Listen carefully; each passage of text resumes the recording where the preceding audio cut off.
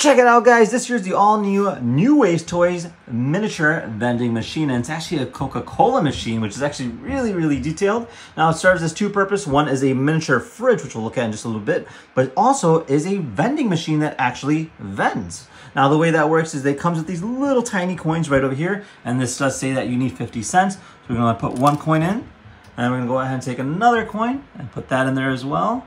And from there, it'll go ahead and highlight just like that pick which flavor we want. In this case, it's all Coca-Cola. Press one, boom.